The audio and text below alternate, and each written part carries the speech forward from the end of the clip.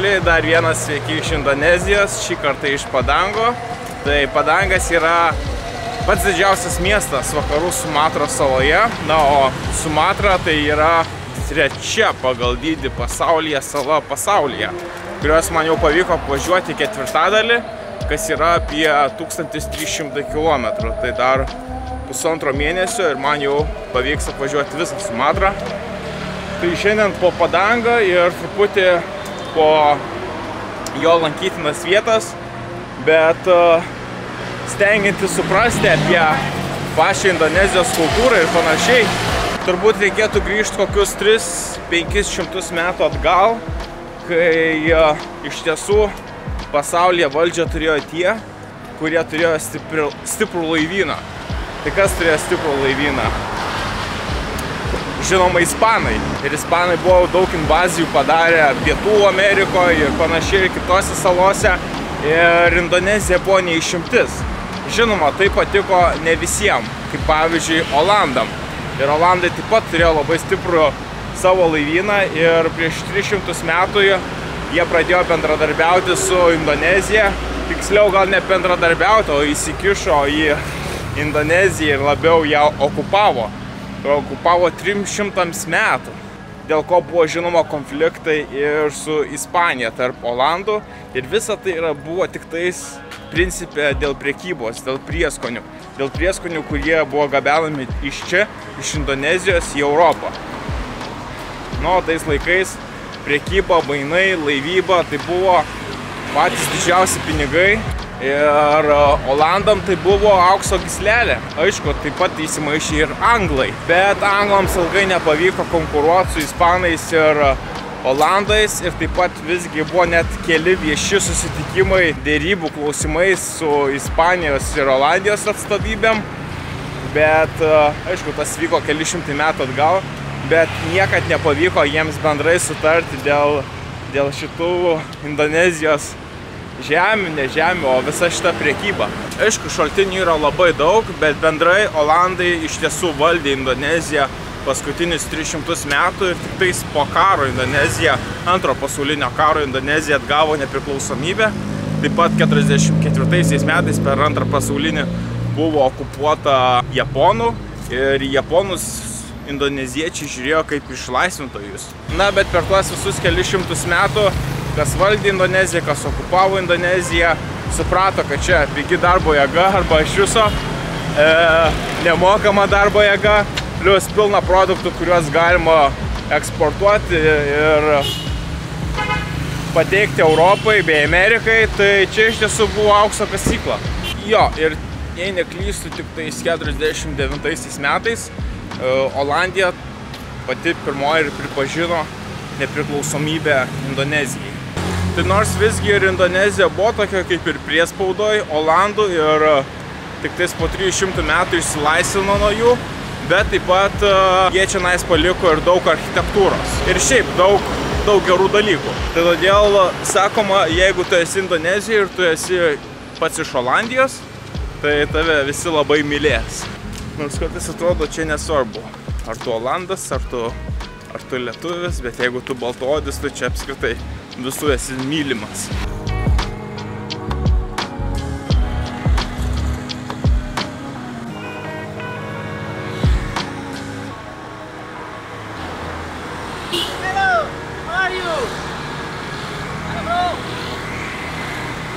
Na ir šiandien mano pirmasis lankytinas taškas, tai didžioji padango mečetė.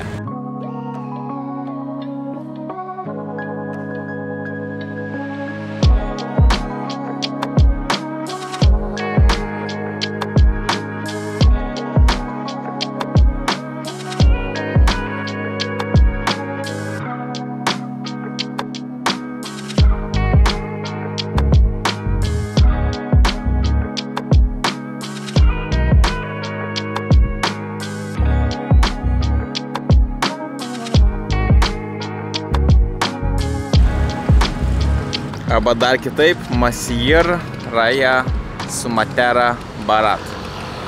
Tai yra antra pagal dydį mečetė visoje Sumatros saloje, o padangę, jinai yra pati didžiausia. Tai einam pabandyti užeiti vidų. Man namų šeimininkė sakė, kad kaip ir turėčiau įeiti vidų, neturėtų būti problemų. Pastatas iš ties didžiulis, 40 tūkstančių kvadratų ir ne per seniausiai pastatytas. Jei neklystų, konkursas buvo 2003-2004 metais. Dalyvavo beveik viso pasaulio architektai, kurie norėjo laimėti konkursą, apie 400 paraiškų, 400 projektų išsiųsta, bet visgi laimėjo vietinis architektas ir, ir buvo pastatytas. Ne, nepaskaičiau per kiek metų sta, pastatė, bet uh, tie keturi kampai simbolizuoja keturis, keturis kalifus, kurie, kurie buvo pradininkai islamo tikėjimo. Tai čia daugiau nei prieš pusantro tūkstančio metų.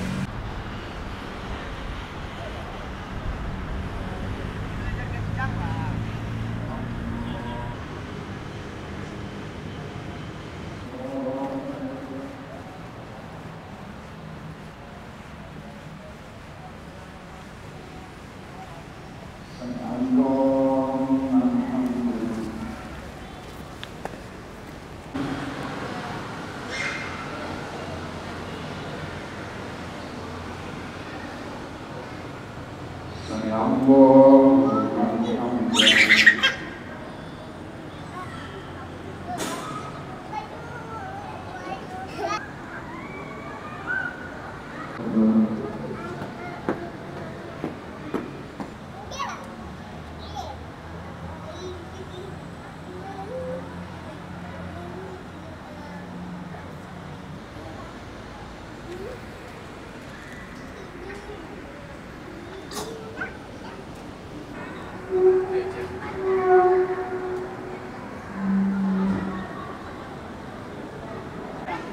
Nu, kiek matau, čianais mečetį telefonas irgi taip pat neišimtis. Maldos kaip ir seansas pasibaigė. Čia yra meldžiamas penkis kart per dieną. Musulmonai meldžiasi penkis kart per dieną, tai matomai čia irgi penkis kartus per dieną vyksta mišios.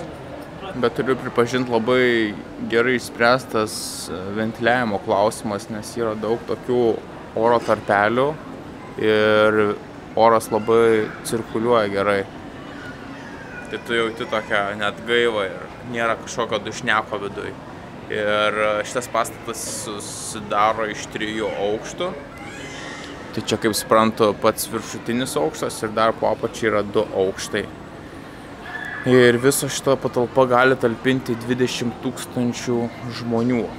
Tikrai, tikrai nemažai.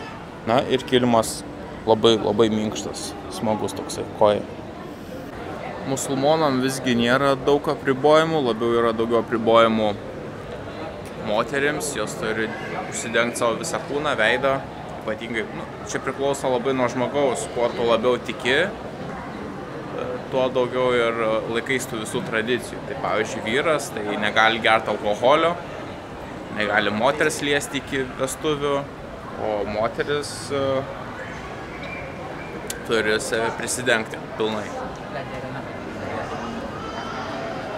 Judam.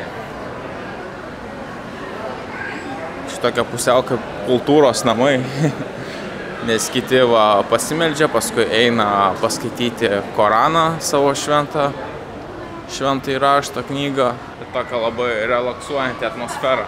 Na ir žinoma, visi yra basi, net nesu koinėm, aš čia vienintelis su koinėm.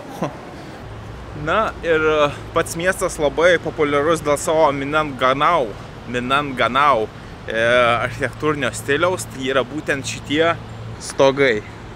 Tai yra būtent kilusi tradicija šitame mieste ir jau kiti miestai, kiti regionai kopijuoja būtent nuo Padango miesto.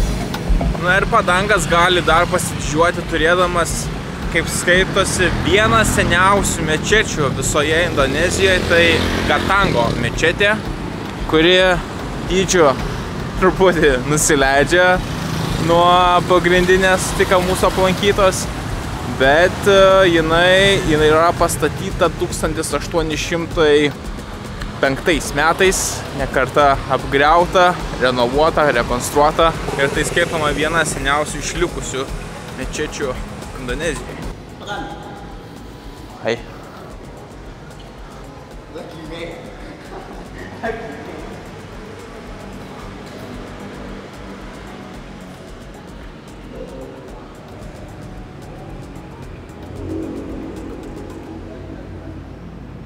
Nu, vidus čia nais kol kas kuklesnis, bet šita mečetė turėjo taip pat svarbią įtaką nepriklausomybės kare, kurį Indonezija turėjo. E, Buvo prieglopstis tiek karininkam, tiek ir buvo sandėlys pusiau. Matomai dabar maldų nėra, kas šiaip visai fainai. Nes ramiai prabūti ar praeiti gatvę Indonezijoje tai nėra lengva iš tiesų, ypatingai kai čia nais Sumatroje 80 procentų yra musulmonai, 80 procentų islamo tikėjimo, visa kita 20 procentų likę tai kiti tikėjimai. Tai tų maldų visose gatvėse skamba daug ir dažnai.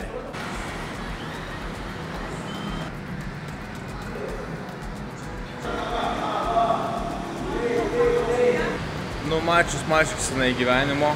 Gerai, judam, judam toliau. Na ir padangas garsėja labai savo patiekalais ir ypatingai aštriais patiekalais. Ir reikia nenustepti, jeigu tu paprašęs maisto tiesiog gauni aplinkui save daug lėkščių. Kaip čia nais pastatyta yra. Tave aplink apstato lėkštėm, ką suvalgai, už tą ir susimokai. Ko nesuvalgai, tas lėkštės atgal čia padeda. Čia šviežias maistas, turbūt kad šios dienos Jeigu nesuvalgo per šią dieną, nežinau ką daro. Ar bando kitą dieną parduoti, ar išmeta.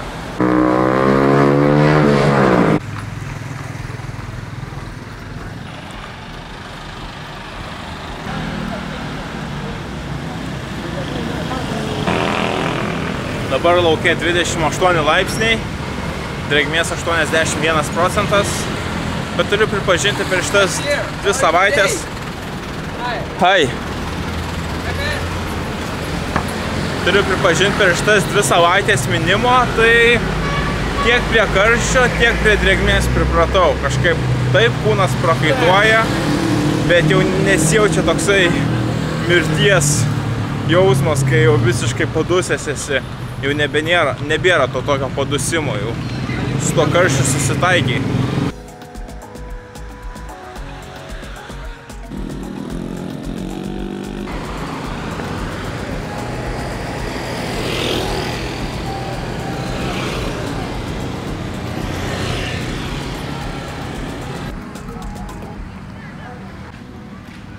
Na štai atvykome į turbūt didžiausią, svarbiausią muziejų Aditya Varman.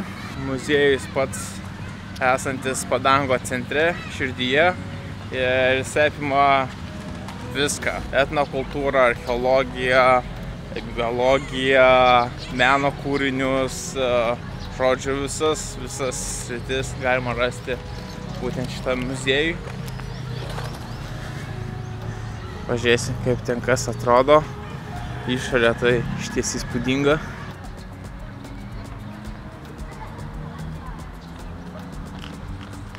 Stilius iš ties truputį gal primena Japonijos. Tie smailėjantis stogeliai. Bet čia nais jų visiškai autentiškas architektūros stilius. Ir čia panašu, kad labai daug pastatų būtent tokiu stiliumi ir pastatyti. Čia toks biški chaosas.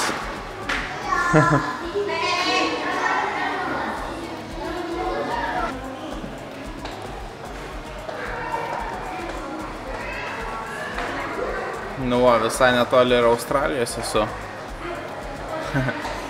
Mes esam dabar čionais. Aš esu čionais. Dar reikia apminti visą Sumatrą, tada iššoksim vėl Javą. Javą pravažiuosiu, į Balį atplauksi su keltu, pro Balį į Lamboką, Tengarą ir Komodo salą. Tada atgal, biški kitų maršrutų pro Javą ir atgal į Džakartą, Indonezijos sostinę, tada atgal namo.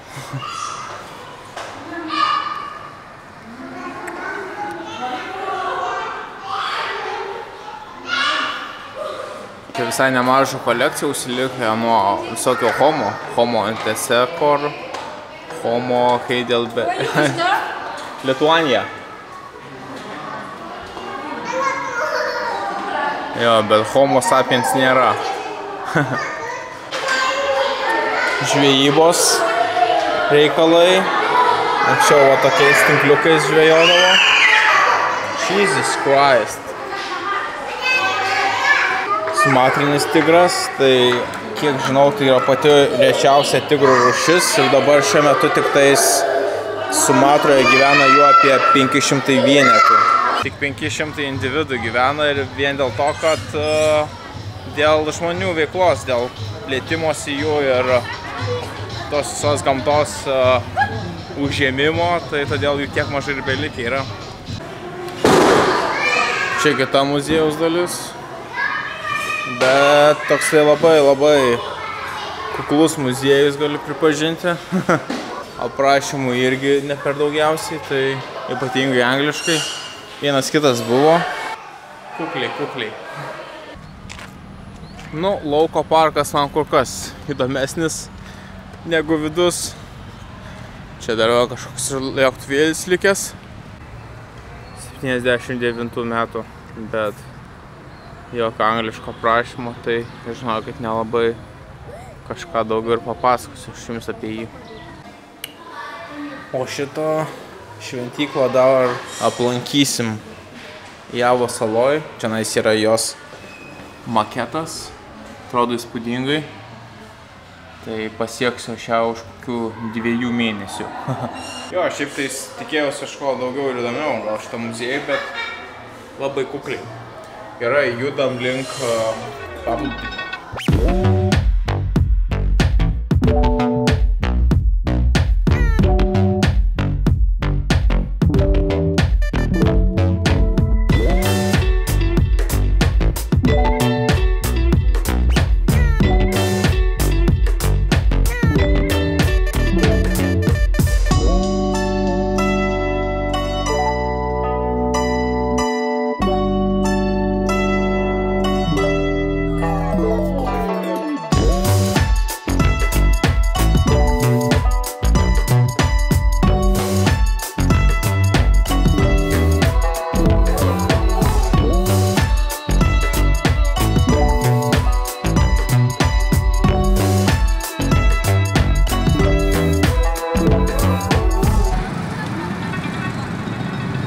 Va toks tas Airmanis paplūdimys.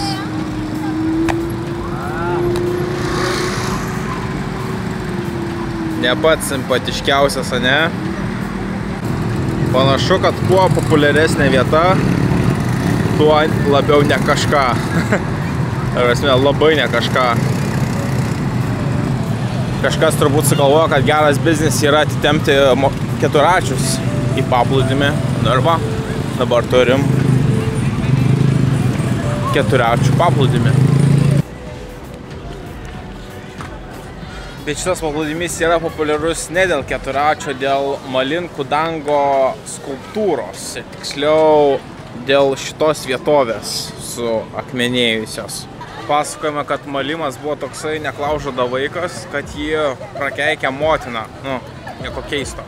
Ir paskui jisai plaukė su laivu ir užplaukė ant seklumos ir tuo metu pavirto į akmenį. Ir čia laivo toksai skeletas ir ten pats klūpintis malimas. Tiksliau, akmuo panašus į žmogų. Klūpintis ir prašantis atleidimo. Bent taip byloja legenda. Nu, tenais kita dalis. Tai šiaip atrodo visai įdomiai. Įdomi ir legenda. Ir įdomus žmonių žvilgsniai mane irgi. Rašoma, kad galima ir daugiau išvelgti visokiausių skulptūrų esant šiandien, bet tas žmogelis klūpintis pats populiariausias. O šiaip bendrai, nežinau, čia blogiau už palangą. Tie motoroleriai ir keturačiai tikrai neskleidžia labai gero kvapo. Aišku, bangos fainos, vaikai surfina, krenta, smagu, smagu. Aš pats pasisurfinsiu turbūt Balyje, jau teko, tai buvo smagu prisiminti gal ten biškai turėsiu daugiau laisvo laiko. O šiaip padangas tai yra labai strateginis taškas ir labai ekonomiškai svarbus miestas. Tai už va šitos kalvos pavyko pakelti droną ir pasižiūrėti, kaip tenais atrodo visas jų terminalas. Deja, teritorija yra gan griežtai saugoma ir aptverta, tai negalėjau tiesiog privažiuoti ir pafilmuoti, ką aš norėjau padaryti. Tai dronas buvo man išeitis. Ir čianais iš tiesų vakarų Sumatroje, tai būtent iš čianais vyksta importas ir eksportas tiek su vietinėmis salomis, taip ir su kitais žemynais. Tai čia labai labai svarbus ekonominis taškas saloje. Na ir kartais tiesiog drono kadrai yra geriausia, ką galima nufilmuoti, nes e, kai taip praeini su kamera ir pasižiūri tai vaizdelis kartais nelabai koks, o su dronu, va, kai pavyksta nuskristi iki anos salos, tai atrodo visai gražiai ir egzotiškai. Jo, kartais žiūrint iš toliau ir iš aukščiau atrodo viskas gražiau, bet realybėj turbūt ne tik Indonezijoje, bet apskritai visame pasaulyje, kuo labiau nežinomas kraštas, kuo ne, labiau nežinomas taškas, tuo tikėtina, kad ten bus gražiau, kur mažiau žmonių. Tai taip ir turbūt ir Indonezijoje Jeigu sako, kad čia populiari vieta ir graži vieta, tai labai labai abejotina. Taip, gal iš architektūros pusės yra tų gražių momentų, bet visgi žmonės padaro savo ir šiukšlės e, turbūt sugadina visą visą įvaizdį. Na, iš viršaus tikrai atrodo, kad ir autobusų daug privažiavę ir tikrai populiari vieta. Aišku, vietinių autobusų, ne, ne baltųjų. Ir žmonių, nu, visai, visai yra iškviečia tai pasibarstę, nes paplūdimys gan platus. Bet lyginant tai, kad čia aš esu ant apžvalgos bokšto ir iš tiek masės žmonių yra tik tais du bičiukai, kurie jau eina žemyn ir aš čia lieku vienas. Tai dar kartą parodo apie jų kultūrą, kad jie nu, nėra patys aktyviausi ir jiems geriau kažkur atsisėst, ramiai, parūkyti, pavalgyti, pasižiūrėti kažkokį vaizdą.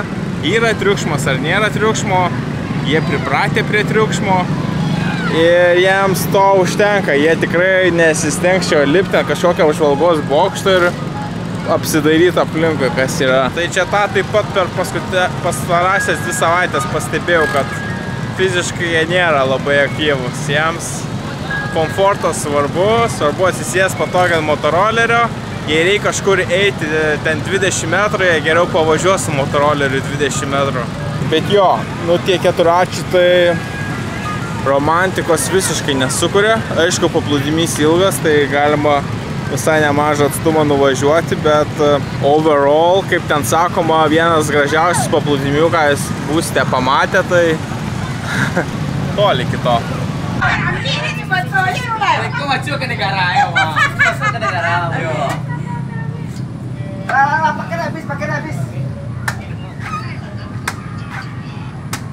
Son của là cái này đi ra cái là đôi được. Cái này là đi ra nó cái bàn xe này cái nó bàn đi này cái nó mua được bàn tiền chứ. Người bán nhà này. Jo, phải à. Nu galvoju, paskutinį segmentą tai reikia kokosėlių paragauti. Kainavo 12 tūkstančių, tai kas yra apie 80 euro centų, ne, mažiau, koks 60.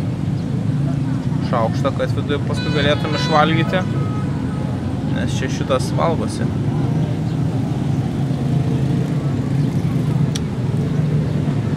Aš nedidelis jo fanas. Toks, nu kaip ir kokosas. Čia jau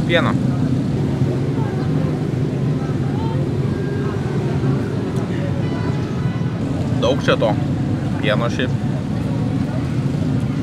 Atsigersiu, bus galima važiuoti.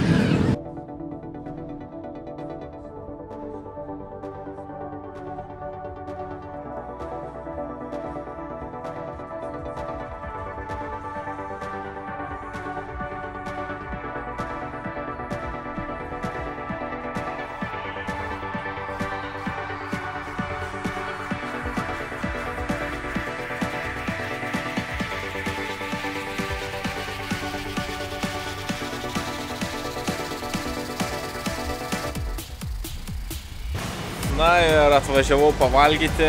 Šiaip vietinio maisto jau prisivalgau, tai galvoju bent McDonald'o biškį pavalgysiu, nes jį galima rasti tik tais didžiuosiuose miestuose. O šiaip padangas turi tų dar daugiau kur kas lankytinų vietų, bet viskas yra aplink padangą, todėl reikia ir daugiau laiko. Bet kai kuriuos juos pravažiuosiu dviratuku, tai sekite naujienas, paprenumeruokit kanalą. Tikiuosi šitas mažas trumpas turas kažkiek jums buvo įdomus ir naudingas, o aš likiu pavalgyti ir susitiksime rytoj ant dviračio. Iki bičiulių.